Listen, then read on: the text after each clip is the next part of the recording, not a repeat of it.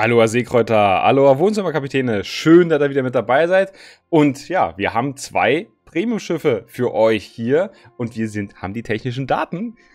Jetzt geht's los. Also, T8, äh, die Mainz, die seht ihr hier schon, äh, damit geht's los. Es wird ein leichter Kreuzer werden, den die Deutschen da bekommen. Man nehme einen Admiral Hipper Rumpf und äh, bastel da leichte Geschütze rauf und äh, zwar vier Türme A3 Rohre 150 mm. Ne? Also 50, nicht 52. Ganz wichtig. Wargaming sagt dazu, das Schiff soll eine gute Reichweite haben, eine schnelle Nachladezeit, eine gute Überlebensfähigkeit und eine angenehme Torpedobewaffnung, so ähnlich wie bei der Königsberg und der Nürnberg, jeweils auf ihre Tierstufe runtergerechnet. Schauen wir uns mal an, was sie daraus machen wollen, zumindest im ersten Versuch. Und der sagt, 42.500 Trefferpunkte wollen sie dem Schiff äh, zur Verfügung stellen. Und das alles jetzt haltet euch fest, bei 27 mm Panzerung im vorderen und im hinteren Bereich, also die Grundpanzerung sozusagen. Ne? Es gibt ja nachher hier dann nochmal einzelne Panzerungsbänder und in der Mitte eventuell den dickeren Bereich, der irgendwie 30, 32 oder noch mehr Millimeter hat, je nachdem. Aber man muss ganz klar sagen, 27 mm ist ziemlich stark gepanzert für einen leichten Kreuzer. So stark gepanzert wie zum Beispiel eine Hindenburg, so stark gepanzert wie eine Des Moines und ja, viel stärker gepanzert. Und wenn wir das jetzt mal vergleichen wollen, wir haben ja vor kurzem die Bayard ins Spiel bekommen. Auch ein Schiff, leichter Kreuzer der Franzosen. Und der hat im vorderen Bereich 16 mm und im hinteren. Das heißt, da ist Overmatch ohne Probleme mit, ja, auch mit äh, schweren Kreuzern möglich.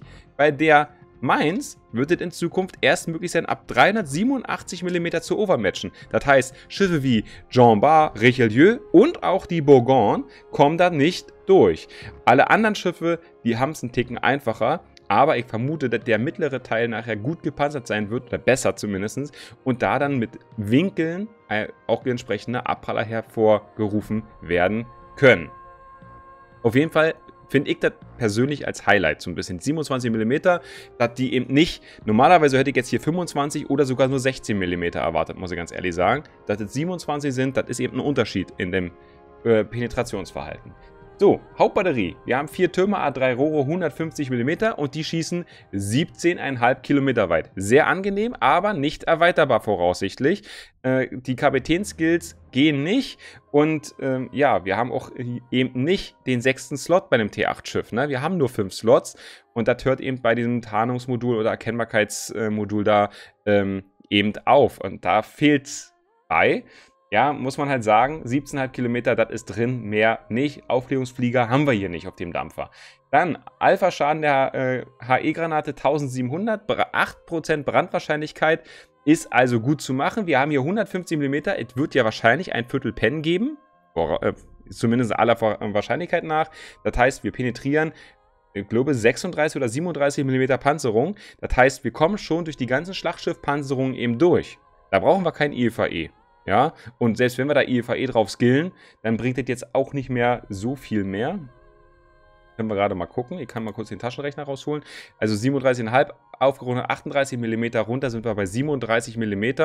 Und wenn wir 37 mm mal 1,3 rechnen, dann sind wir bei 48. Also die 50 mm penetrieren wir eben nicht. Und es ist halt ja, das wäre die nächste Schwelle nach den 32 für mich. Ja, muss man mal gucken, aber ich denke, es ist nicht so sinnvoll, da EVE e raufzubauen, vor allen Dingen, weil es eben Brandwahrscheinlichkeit klaut und die kann man eben gut nehmen. Ja, man kann hier in den Sprengmeister raufbasteln und die beiden Signalflaggen für Brandwahrscheinlichkeit sind wir bei 11% und das auf 12 Schuss, das ist, glaube ich, ganz angenehm. Ähm, dann haben wir eine Anfangsgeschwindigkeit 960 Meter die Sekunde, ziemlich direkter Schuss wahrscheinlich. Ähm, ja, kein großer Geschossbogen. AP, Alpha Damage 3900, auch die gleiche Anfangsgeschwindigkeit, also Mündungsgeschwindigkeit 960 Meter, 7,5 Sekunden Nachladezeit nur. Das ist so wie bei der Bayard, wenn ich mich so, also so zumindest in die Richtung, wenn ich mich recht entsinne. 30 Sekunden Turmdrehzeit, Streuung 154 Meter, wohlgemerkt auf 17,5 Kilometer Kampfentfernung. Ja, das ist die maximalste Streuung und wir haben Sigma-Wert von 2.0. Also ich denke, diese Werte haben es in sich und das scheint mir ja doch ein ganz angenehmer Dampfer zu werden. Wer leichte Kreuzer mag, ähm, wird dieses Schiff wahrscheinlich mögen, gerade weil eben die Bounce-Eigenschaften hier einfach stärker sind als bei anderen leichten Kreuzern. Ähm, dann haben wir Torpedowerfer. Wir haben nämlich, da sehen wir einen, da haben wir einen, also an jeder Seite zwei A4 Rohre. Das heißt, Acht Torpedos können wir an jede Seite abfeuern. Die schwimmen 6 Kilometer weit. Wenn sie treffen, 13.700 Alpha Damage könnten im besten Fall äh, entstehen. In der Regel passiert das ja eher nicht. Da gibt es ja dann noch Torpedoschadensverringerung und was da alles nicht zählt. Also diese ganzen Sektionen, die dann unterschiedliche Anzahl an Damage-Punkten noch haben und so weiter. 64 Knoten, schnell sind die Torpedos. 19 Sekunden ist die Nachladezeit. 7,2 Sekunden die Wendezeit der Torpedowerfer, also von links nach rechts. Und die Torpedos sind in Anführungsstrichen nur 1,3 Kilometer erkennbar. Das ist ein ganz normaler Wert auf der Tierstufe. Shimakase Torps als Vergleich. Die schlechteren Torps, die, die ganz weit schwimmen, äh, sie gehen zweieinhalb Kilometer sogar weit auf. Ne? Äh, die äh, gibt da sicherlich auch nochmal andere Werfer, aber 1,3, der Wert ist okay. Ja, da kann man nicht, nicht viel gegen sagen. Dann haben wir eine ja, ziemlich gute Flugabwehr äh, für die Tierstufe. Langstrecke 119 kontinuierlichen Schaden bis 5,2 Kilometer. Äh, und wir haben eine Expl 6 Explosionen, 1400 Alpha Damage. In der Mittelstrecke haben wir 319 kontinuierlichen Schaden bis 3,5 Kilometer und dann die Codestrecke 147 kontinuierlichen Schaden bis 2 Kilometer. Die Trefferwahrscheinlichkeit ist Langstrecke 90%, äh, Mittel 90% und Codestrecke 85%. Also das muss man dann immer so als ja, Trefferwahrscheinlichkeit kann man eigentlich so von diesem kontinuierlichen Damage-Wert so ein bisschen abziehen und dann hat man den Wert raus, der tatsächlich übrig bleibt. Ähm, aber das ist okay. Vor allen Dingen, weil ihr hier auch defensive Flakfeuer benutzen könnt im Austausch mit der hydroakustischen Suche. Äh, also, ja, ich denke, das ist ganz okay. Dann gibt es noch diese Priorität, äh, Prioritätensektor-Geschichte, wo ihr diese Sache auch nochmal verstärken könnt. Ja, kann sich sehen lassen, denke ich mir. Also, die Flugzeugträger werden euch nicht bevorzugt anfliegen, glaube ich zumindest. Dann haben wir noch die maximale Geschwindigkeit, 32 Knoten. Das ist ein Ticken zu langsam, wie ich persönlich finde, weil wir auch keinen Motorboost haben.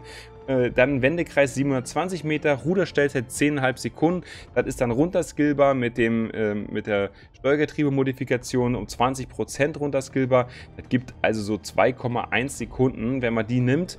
Ja, die Tarnung würde ich hier auf jeden Fall nehmen, nämlich ihr seid 15,3 Kilometer auf dem Wasser zu sehen. Das heißt, ihr müsst alles, was ihr in Tarnung bringen könnt, müsst ihr in die Tarnung bringen. Meine ehr ehrliche Meinung. Bei 15,3 Kilometer, das ist schon Schlachtschiffniveau schon bald. Ja, also Ne, Bismarck ist, glaube ich, auch so ähnlich bei 15 irgendwas, ja. Also, keine Ahnung. Ähm, Finde ich einen ganz schön hohen Wert. Aber irgendwo muss man ja das auch balancen mit diesem relativ guten Nachladezeit, mit einer großen Reichweite, mit einer guten Brandwahrscheinlichkeit und so was alles und einer guten Panzerung oder verhältnismäßig guten Panzerung, muss das halt irgendwie gebalanced werden, dann ist man eben deutlich weiter sichtbar. Ja, und dann, wenn man im Nebel steht und schießt, 8,4 Kilometer erkennbar. Verbrauchsmaterial in Slot 1 Schadensbegrenzungsteam.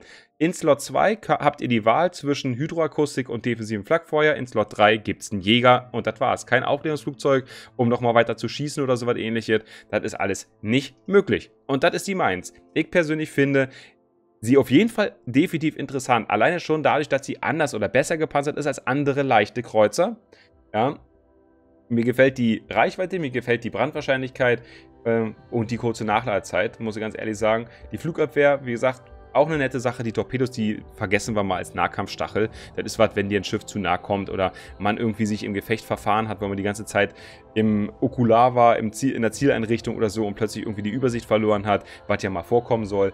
Da kann man sich dann irgendwie noch mit verteidigen, bevor man stirbt. So nach dem Motto. Ähm, ja, that's it. Und das war's zu Mainz. Und der nächste Dampfer ist dann die Gorizia. Oder so ähnlich wird sie wohl ausgesprochen. T7-Kreuzer der italienischen Marine. Und wer sich mit den Italienern schon ein bisschen beschäftigt hat, der wird sofort erkennen, dass wir uns hier äh, eine andere Version der Zara angucken. Ähm, die, ja, ja quasi, sehr, äh, quasi in den, als Forschungsschiff in den Forschungsbaum kommen wird. Und hier haben wir jetzt äh, einen Austausch. Das ist quasi die Besonderheit des Schiffes. Ihr habt keine Torpedowerfer, dafür aber Hydroakustik. Ja? Normalerweise sollen die Italiener weder Radar noch Hydroakustik haben, standardmäßig. Aber wenn ihr dieses Premium-Schiff bekommt, dann wird es wahrscheinlich die Hydroakustik sein, die ihr dann in dem Schiff vorfindet und dafür aber eben nicht diese, äh, diese Treibminen, die die Italiener haben.